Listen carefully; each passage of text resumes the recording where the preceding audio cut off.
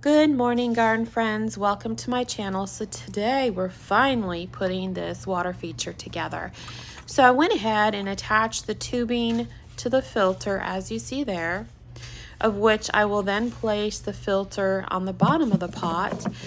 I thought instead of purchasing some rock, just go ahead and use what you had in the backyard to save a little bit of money. Fill up that pot with water and enjoy. Have a great day.